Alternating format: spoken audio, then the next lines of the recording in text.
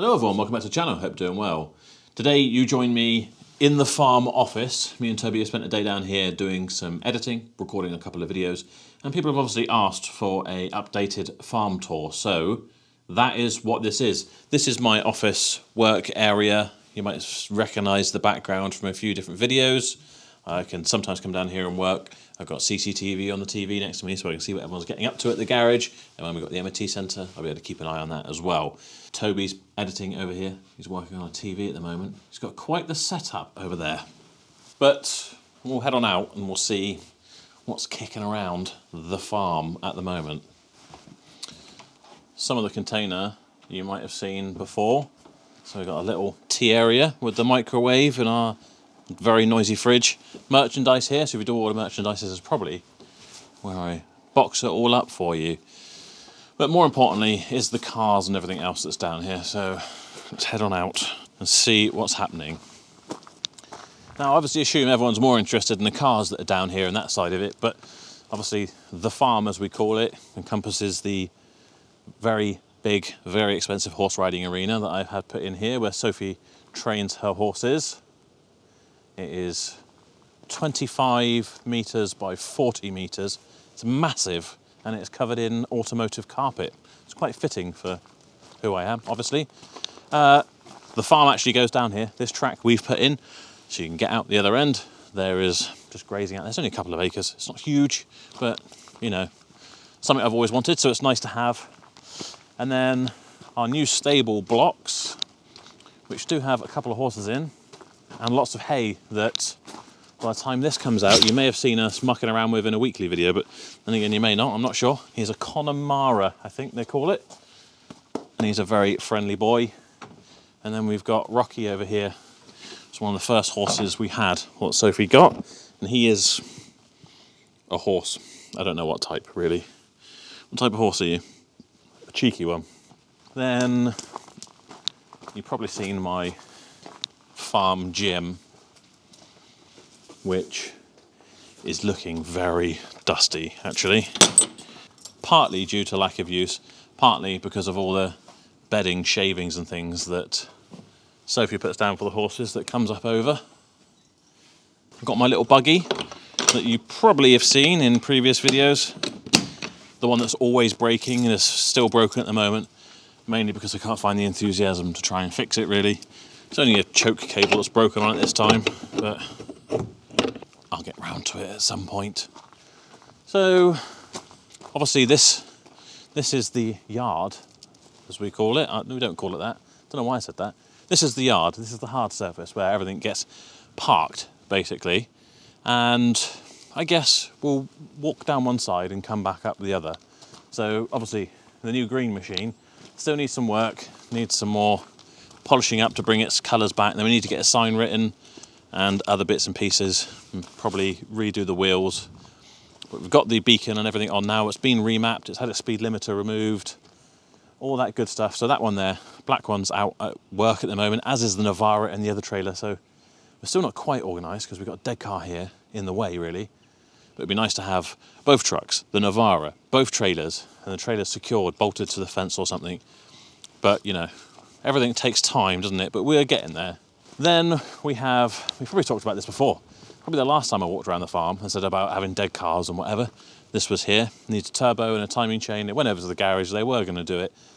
It's just a case of time and priorities, and we prioritise other stuff. It's just not going to get done in the immediate near future. So it's back down here waiting on that opportunity. I will lose thousands if I just get rid of it as it is. So we are going to do it. It's just wait until we've actually got time to do it. Then we've got the Porsche 911, which has now been fixed, has an MOT on it. Um, we, yeah, we weren't going to put an MOT on it. We were just going to do the bits that were uh, down to us, which was an oil or a coolant leak, I think, from an oil cooler. We changed that, and the emissions. He thought something was wrong. with The exhaust It was really rusty. Well, we fixed a couple of leaks on it, sent it across, ended up putting an MOT on it, and just waiting for that to be collected now. But it's gone ever so quiet ever since we said it's ready to go. Then we have a warranty nightmare over here. Again, we didn't do a specific video on this, but you might have seen it in a weekly. The, I would say very nice, but the Mercedes S-Class that we had in, the one that we sent to a customer over in Wales, it had ABS issues. They sent it back. We gave them a courtesy car. It came back. I think it did the same thing again, and then took it back. It was working fine for a good few weeks, and then one of the front airbags or the front airbags have collapsed. So it now looks like this. Um, this will go over to the garage very soon to get diagnosed and get this sorted. Um, it can't, well, I say it can't be anything major. It probably will be in terms of expense, but hopefully it can't be too complicated. It's probably just a blown bag or a valve or something. So hopefully it won't be too tricky to fix, even if it is expensive probably. Then we've got my high mileage BMW. We did have someone come in, pay a deposit on this because they wanted it for their other half. But then I think maybe the other half changed their mind or they changed their mind. Whatever happened, it's still here. Um, I might even take this home today actually. It is a really nice car. It's, you wouldn't believe it's got 178,000 miles on it. But the reason I'm selling it is I need something to tow with as my own personal car really. So it's here at the moment. It is on our website, berrowmotors.co.uk, but it's just here as like overflow stock basically. Then we have a KA that Sophie is selling at the moment. You might have seen, record so many videos, I can't remember what's happened in what video, but she bought this and didn't see that it had had a bit of a boff down the side here. So those of you who saw that in the pictures where she'd bought this, into the rear quarter as well, I mean, it needs a door probably. And Dead Man's not getting that out. So I think she's going to try and sell it as it is, cheaply, for someone who's not that bothered about the cosmetics. But it's still here at the moment. It's a shame because it's actually quite low mileage. Really nice car, drives really well. Just didn't spot that.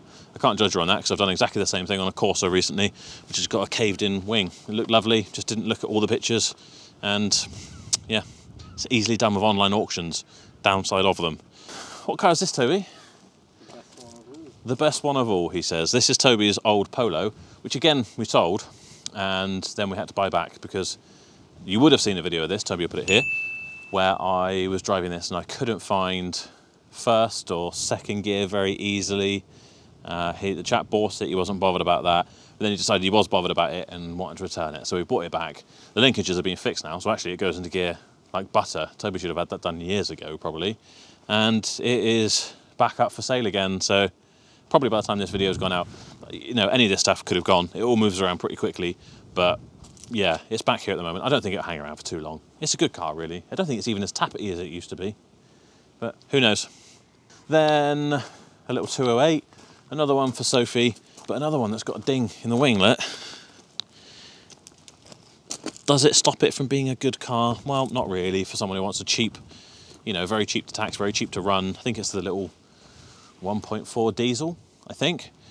Um, should be a good little car for someone, although she hasn't sold it yet. I know why, because it needs a clutch. So I don't think she's got that for sale yet. Again, waiting for time to get in the workshop and get a clutch. So we're waiting on more workshop space, more workshop staff to get that done. Then we've got two cars which belong to Josh. We've got his 190E, uh, which is a one owner car she bought for not very much money. In fact, if you want to see how much, there's a video here where we took that out. It's actually a really nice little car, but he needs to sell it, get it gone. Everyone's got the 4x4ing bug. You'll probably find out why in a minute. And I think he wants to sell that along with his, what's this, an E39 5 Series BMW. Also, he's now decided he's going to sell this. This was his sort of daily. In fact, I got this for him from auction. So it's a 525D, I think. And he had a 525i saloon before, and this was going to be more economic, etc. But then you've got a C63, which is over here. We'll have a look at in a minute. Don't look now. So yeah, that'll be up for sale. So if you want either of these, check out Josh on Instagram. His handle is at C63 underscore grey, G-R-A-Y. You might be able to have a little deal with him. Then we've got a little Clio Estate. I always quite, I don't know why, but I quite like the look of the Clio Estate. I think it's more interesting than a Clio hatchback. Toby's given me very funny looks, but it's different, isn't it? It's a bit different. Uh, yeah, that's just one that Sophie's trying to sell. Came from auction. It's a nice thing. I think it's got reasonable miles on it. 80, 86 or something. Uh, she's asking 2,500 or something for it. So that's not crazy. And then the 500 pound Audi TT. The 225, is it 225? It is, isn't it? Not 220. 225, BAM engine, Quattro, 1.8 turbo, thingy, all singing, all dancing. we bought for 500 quid, but it's pretty rusty underneath, so it's going to need a lot of TLC. We might keep that as a track car, maybe, but yeah, if someone comes along and wants to give me a grand for it, 750 quid, whatever, then um, we'll sell it on. I suppose I should say now, I still haven't made up my mind about a part exchange group on Facebook. I have made one. And if you want to join, then please feel free to join. The Facebook group is called Shifting Metal PX Group, I think. Um, Toby will put the name to exactly what it is, and we'll put the link in the description as well, so you can check that out. And occasionally there might be a few cars like that, for example, that we'll just put a small markup on, and if you want to come and get it, you can come and get it. We'll describe it as it is. We'll maybe do a walk around video, things like that. Some stuff Sophie might put on there, and she might be asking nearer retail money for, because we will have checked it over, etc. But you might still think it's a bargain. Some stuff will just be buy it as is, trade, whatever. So yeah, I don't know how that's going to work out, but a group does exist. If you want to join it, please do. And you can always message me on there as well and say hello. So, Shifting Metal Part Exchange Group, I think, or PX Group. Then we got the old Sterling Eccles caravan. You would have seen that in one of the weekly episodes.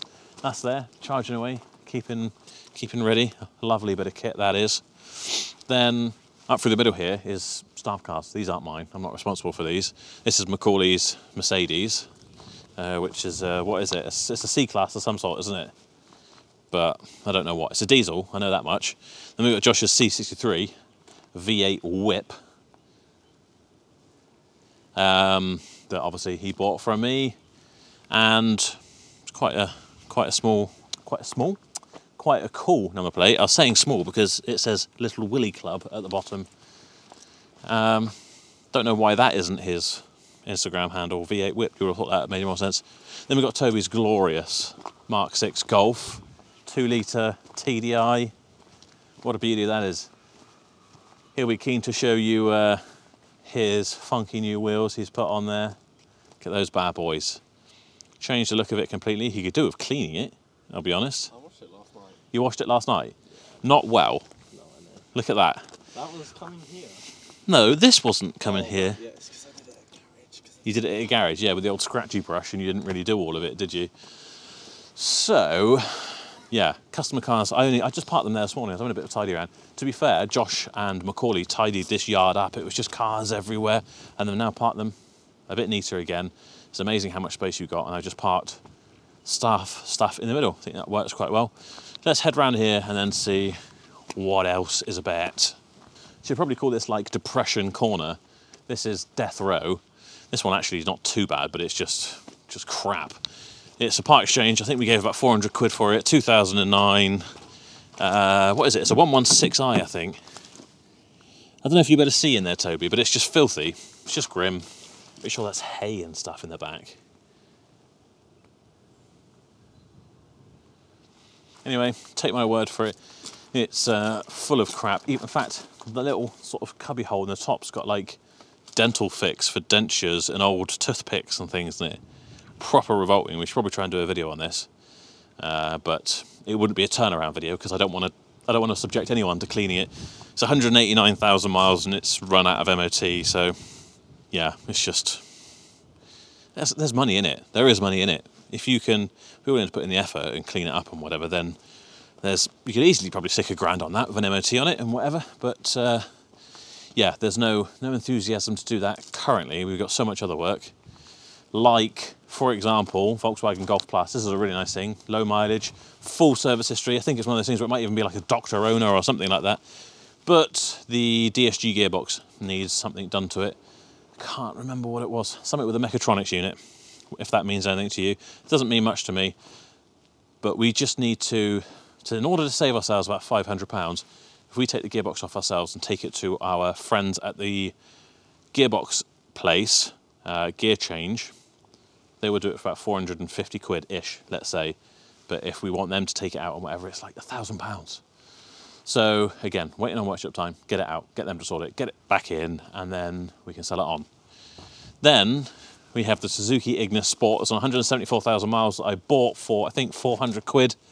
I've actually done quite a bit of work on it, and I need to speak to the mechanics and find out exactly what, because I think all it needs now is a CV joint, maybe some tyres, and we could put it in for an MOT. It's obviously going to want a number plate again, but you know, minor things.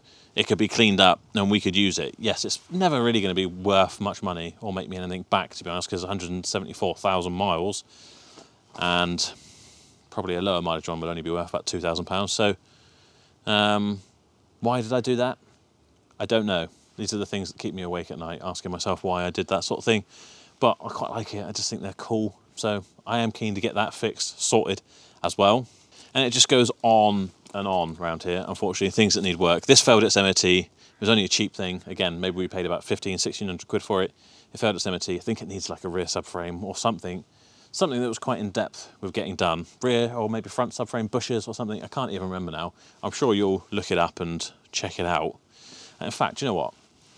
Should we have a look and do a vehicle score check? That way, we'll find out how it scores, which I imagine will be terribly. All we've got to do is enter our registration, Charlie Victor 60 Zulu Foxtrot Delta.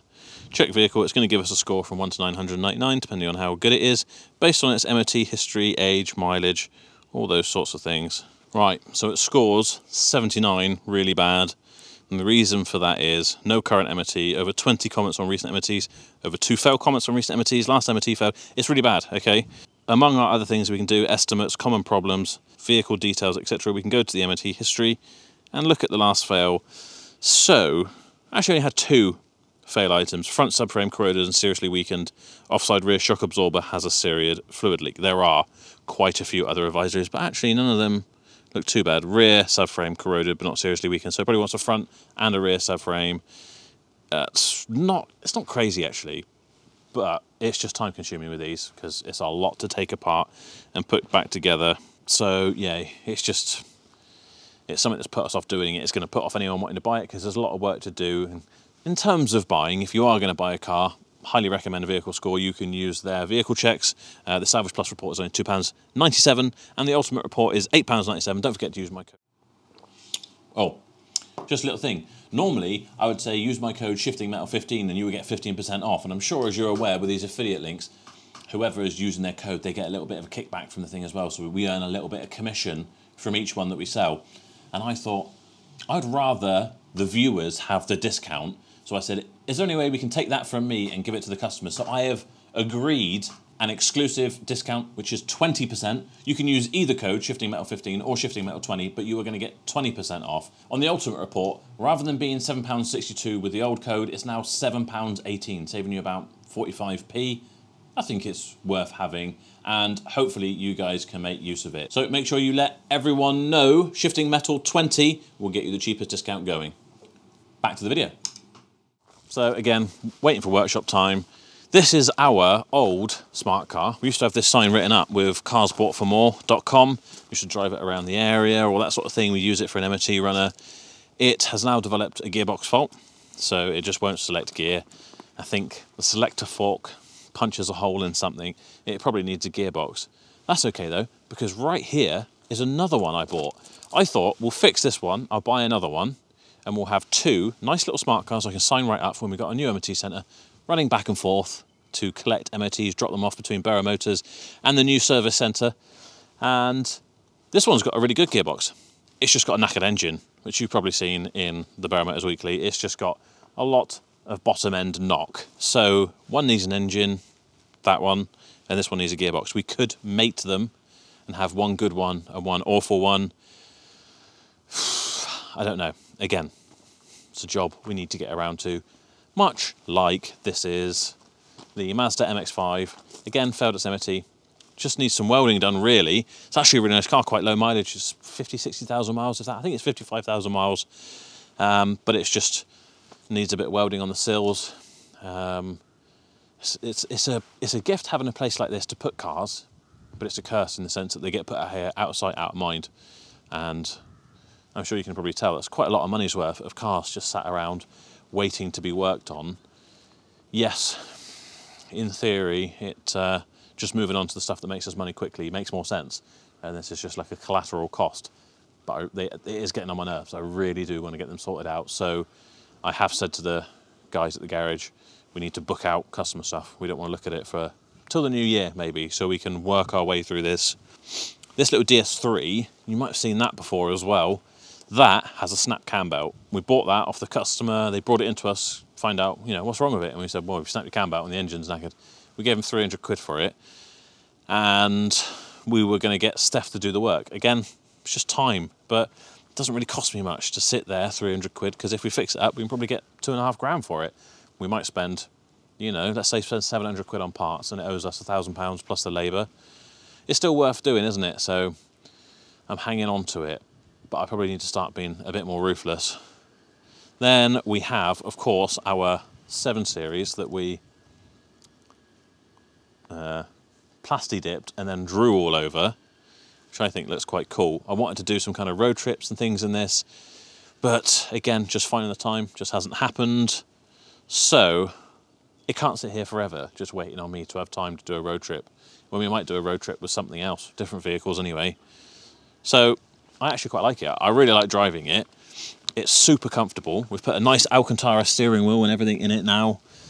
Uh, I probably just need to peel this wrap off, start again. Maybe plasti dip it in something else because it had a bit of a nasty rear quarter. Maybe I'll take it off and paint it. But again, it probably owes me owes me under two thousand pounds, I think, to be fair. But that's probably all it's ever going to be worth. So it's tricky to know what to do with it. Tempted to keep it as it is, but it just doesn't get used. Probably don't want to use this in MT runner because it takes up so much space. It, you can park three smart cars in the space you can park that. So yeah, tricky. Too many toys and projects and things like that. We're all guilty of it, aren't we? I'm just guilty on it on like a times 10 scale, probably. Then we got the Antara. That's one that Sophie's selling. That's the one that's had the prop removed. You may have seen that video. If you haven't, I get Toby to put it here. Um, one that Sophie bought.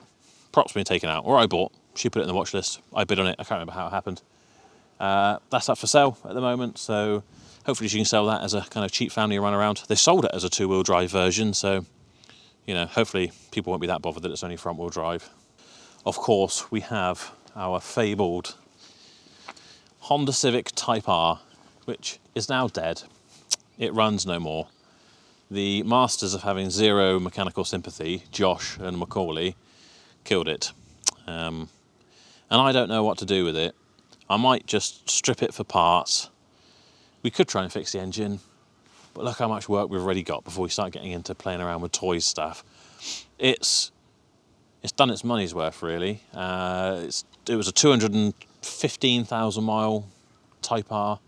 We had a good handful of track days out of it, driving real hard amongst like four or five of us at a time. So it's done pretty well really. Um, you might be best off just selling it for parts or just, I know someone to come and buy it for 500 quid and take it away. I might do that. I don't know. I just don't think it's worth spending money on fixing it up when we could just buy a different car. Use something like that. Audi TT, for example, only cost us 500 quid. So, yeah, the future's not bright for this one, unfortunately, but I don't know what to do with it. Look at the starlings, a murmur. They're gone. Then we have my cheap £750 Freelander. Look at this bad boy. It looks like it's been up to some real adventures, doesn't it? Because it has, along with the little Suzuki Grand Vitara as well that's had a front end bump. That wasn't us, but it, we did cover it in mud. We took these two and a Jeep Cherokee that I've got as well. That's not here, that's over at the garage, that's missing, as is the Chrysler Crossfire, as is a little £100 smart car, as is other bits and pieces that are over at the Berrow Motors that could be here that would add to this problem that we've got here. So there are plenty of others. But yes, we took these off-roading. There's going to be a really good video coming out of that. That was a load of fun. We're all kind of hooked on that now, want to do more of it. In fact, Macaulay wants to do a trade now with this, with his Mercedes, so that he has an off-roader he can use. So we are going to figure that out. I think I'll clean up the Grand Vitara, maybe get a new bonnet for it or something. It's, I mean, to be fair, I paid 250 quid plus fees for this with the sole purpose of taking it off-road, which is what we've done. It survived.